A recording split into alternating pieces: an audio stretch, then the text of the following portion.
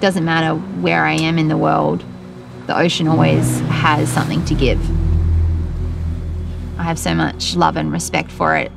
My mum always said, if I'm in a bad mood, just throw me in and I'll come out a better person. It's totally true. I love what it gives me, not only from a food advantage point, but also fitness and health. Like it cleanses me in a way.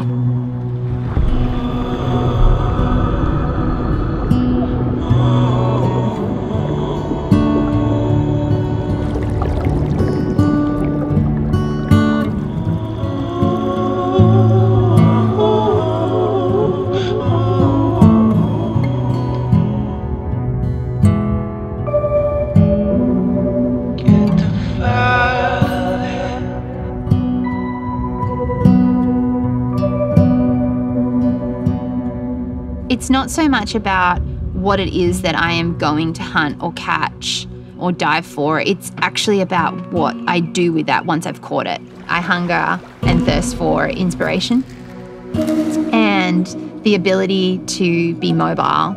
And inspiration for me comes through challenging myself, which means getting outside of my comfort zone. It's not the end goal, isn't the dinner table, although that's like the celebration.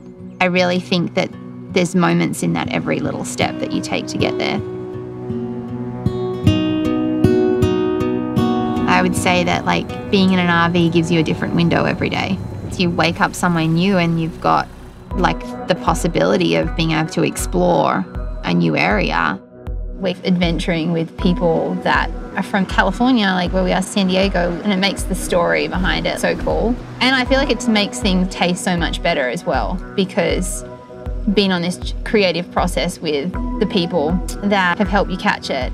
That's why I kind of pivoted in my career from being an indoor chef in a restaurant because your creativity is a little stumped because you're not gathering from your environment you're fishing in or the people you're around. I'm learning a lot to like kind of just let down a facade of like, no, I know how to catch it and I know how to do that.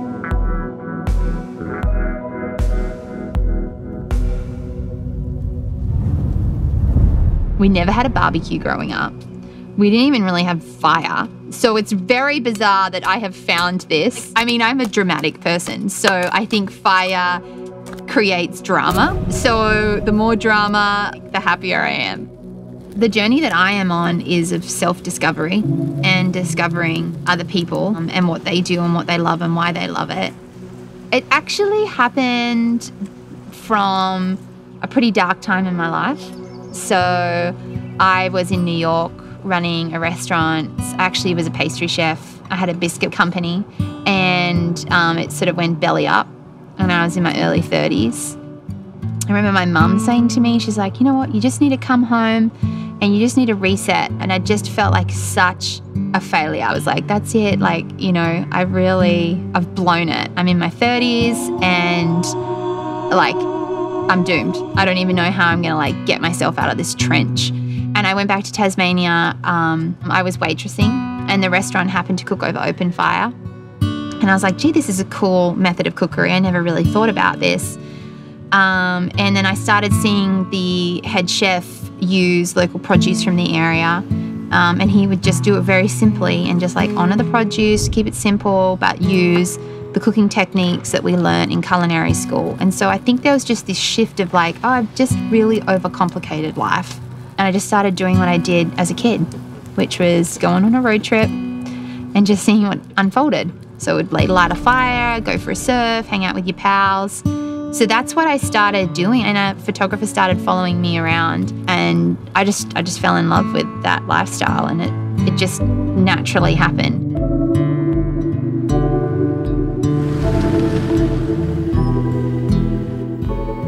Food's culture. As a chef, it's it's a cultural experience. Depending on the soil or the land, the ocean, the terrain, it affects the ecosystem and the environment of what can grow there and, and, the people that are there and like what their forefathers have passed down to them.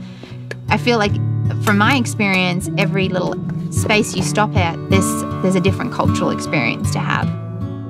The people that are coming to dinner tonight bought the produce that were going to be cooking. So whether they were fishing with me, some of them went hunting for it, they're all bringing something to the table. And I guess my thank you to them is what I bring to the table, which is being able to cook it, present it, um, and have community around the, around it.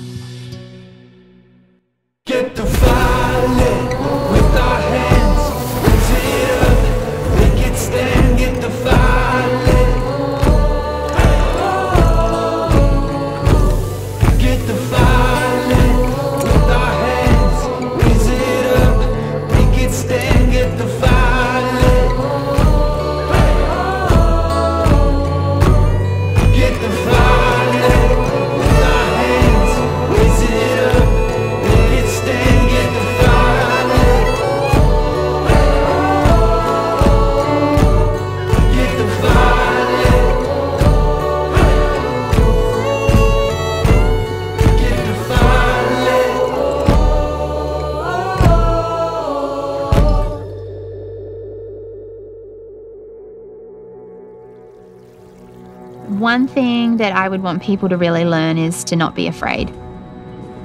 Sounds cheesy, but I guess believe in your ability to, to give it a go. I, I think fear stops a lot of people from adventuring. It stops people from having a conversation with people. It stops people from getting in the water. It stops people from getting their hands dirty in the soil. Fear is such a liar. And I think that if people can overcome that, they're going to discover a world they never knew possible.